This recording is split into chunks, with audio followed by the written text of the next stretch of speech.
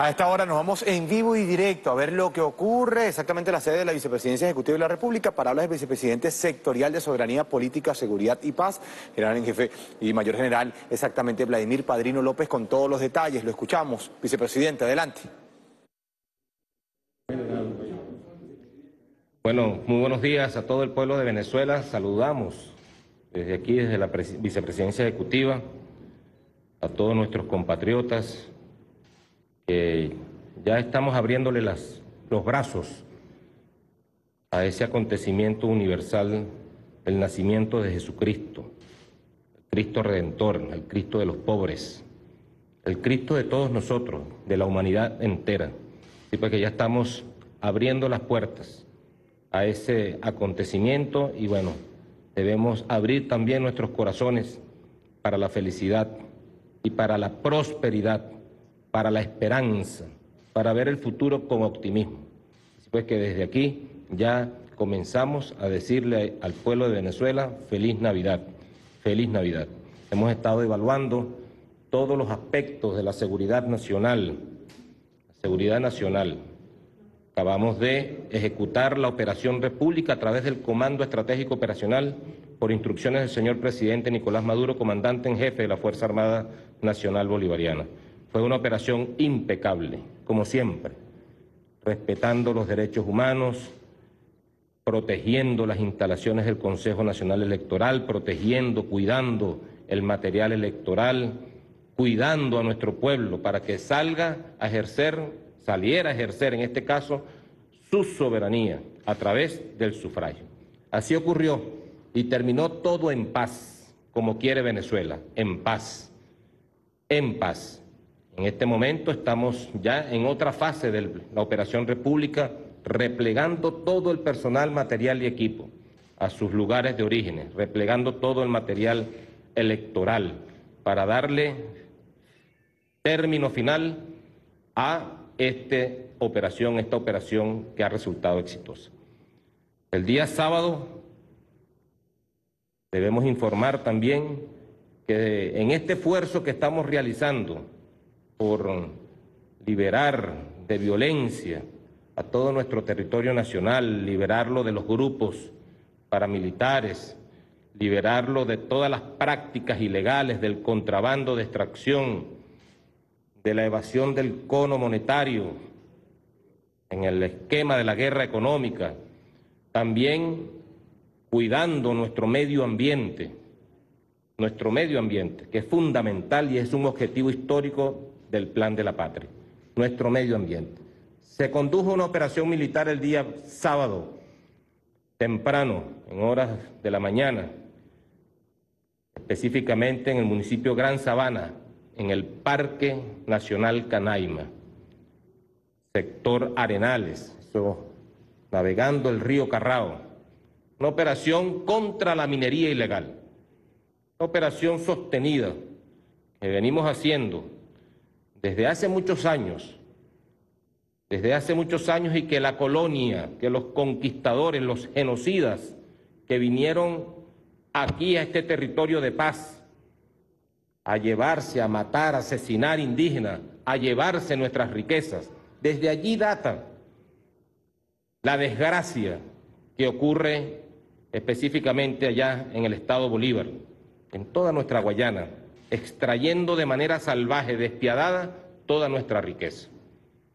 Por ello, nuestro presidente, comandante en jefe, ha puesto en marcha un plan integral, sistemático, conservador del medio ambiente, que gira en torno al arco minero del Orinoco, aquel plan que nos dejó el comandante Hugo Chávez.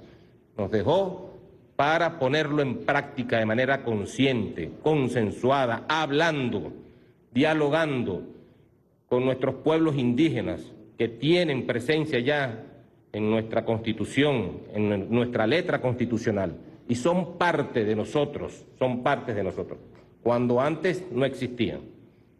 Se condujo una operación militar que tuvo como resultado, bueno, la destrucción de, de varias balsas que llamamos balsas mineras de extracción, todas esas maquinarias que se ponen a destruir la capa vegetal, la capa vegetal, y que buscan en profundidad, bueno, el oro en este caso.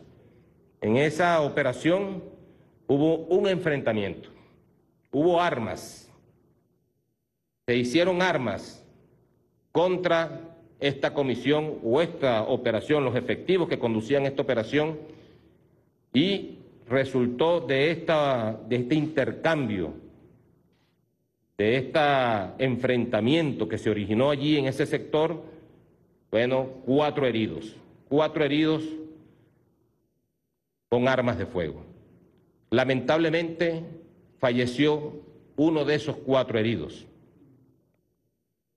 lo cual condenamos profundamente desde nuestro corazón. Se trata del joven de 21 años, Charlie Peñalosa, de la comunidad Pemona, quienes estaban presentes en el sitio. Y, ocurrida el enfrentamiento, bueno, se, también se produjo la evacuación respectiva, rápida, y ambos y los cuerpos llegaron a Ciudad Bolívar a recibir la atención médica del gobierno para prestar todas las atenciones que necesita y que necesitaron y que necesitan estos compatriotas para la vida, para vivir, para existir. Lamentablemente ha fallecido un compatriota indígena de la comunidad Pemona. Nosotros lo condenamos profundamente, porque los indígenas son víctimas de todas las mafias que se han venido enquistando, repito, desde la colonia. Pero sobre todo en la Cuarta República, cuando esa clase política podrida comenzó a infiltrarse con ayuda de organizaciones no gubernamentales, incluso internacionales, a alienar la mente de nuestras comunidades indígenas para sacarle provecho, para explotarlos, para llevar allí la trata de personas y toda la cantidad de delitos contra los seres humanos, contra los derechos humanos que allí se producen. Pues son las mafias enquistadas. Sería muy ingenuo pensar que detrás de estas prácticas de minería ilegal están solamente los indígenas. Los indígenas, repito, son una víctima. Allí están mafias, verdaderas mafias muchas asociadas a la oposición política venezolana. Muchas, muchos tienen intereses allá abajo, muchos. Y nosotros no vamos a permitir que allí se siga cometiendo un ecocidio contra nuestro medio ambiente, un ecocidio, un ecocidio. Allí en el Parque Canaima, no lo vamos a permitir, tampoco lo vamos a permitir más allá del Parque Canaima. Hablo del Parque Canaima en este momento. En el 2015, desempeñándome como comandante estratégico y siguiendo también las instrucciones del presidente Nicolás Maduro, que deja ver en estos últimos años el esfuerzo que hemos venido haciendo para contrarrestar esas mafias, para sacarlos de allí. En el 2015 hicimos una práctica victoriosa, exitosa, y ese parque fue completamente liberado de la minería ilegal. Pero están las mafias allí, presente, con todo su poder económico, con toda su conexión internacional, porque este tema, este tema no es un tema aislado del Parque Canaima, es un, es un tema que tiene tras bastidores una intencionalidad internacional. Todos los factores imperiales allí para poner en contra del gobierno venezolano y del Estado venezolano a la comunidad indígena. No lo van a lograr porque quienes le dieron visibilidad a las comunidades indígenas ha sido precisamente la revolución bolivariana.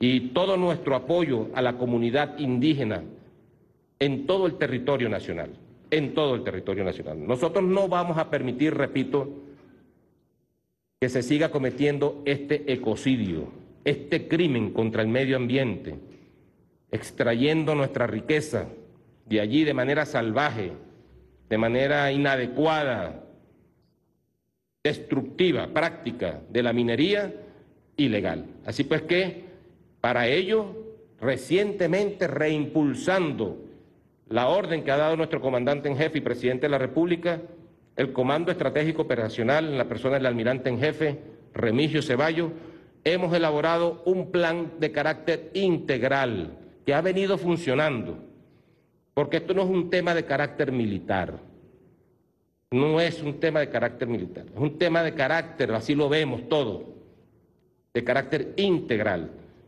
Y ese plan Tepuy Protector, así se llama, tiene sus fines y tiene sus metas y tiene sus objetivos.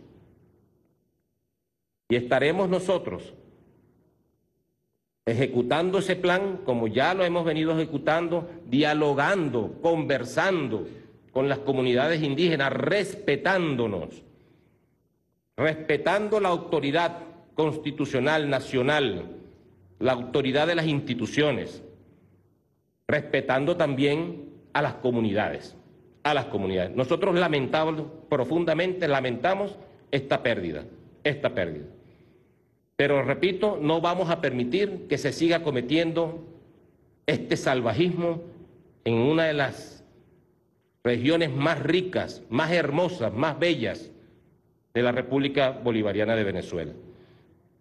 Esta situación de enfrentamiento y esta muerte, este fallecimiento de este joven indígena, Pemón, bueno, ha meritado, por supuesto, la participación del Ministerio Público, quien va a practicar todas las investigaciones con todos los órganos de investigación que ellos decidan de manera imparcial, transparente, no hay ninguna intención de estar tapando absolutamente nada.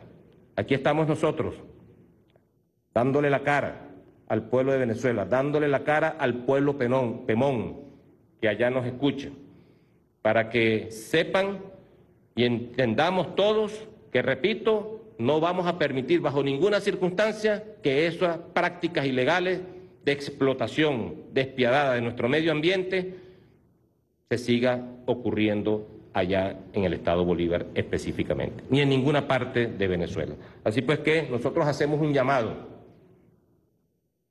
un llamado a las comunidades indígenas, a nuestros hermanos pemones, a conversar, a no dejarnos manipular por entes exógenos que andan buscando la división, andan buscando la fractura nacional. No lo permitamos.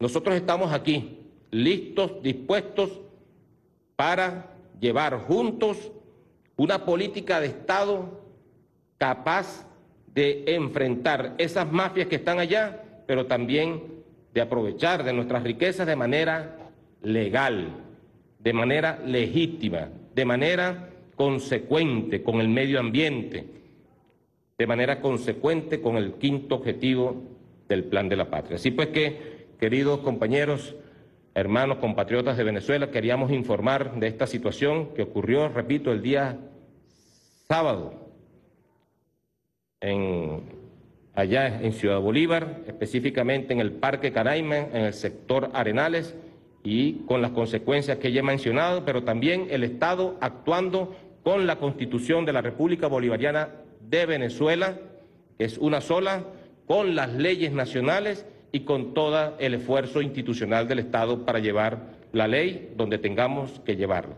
Así que feliz tarde para todos, hermanos y hermanas de Venezuela. Muchísimas gracias.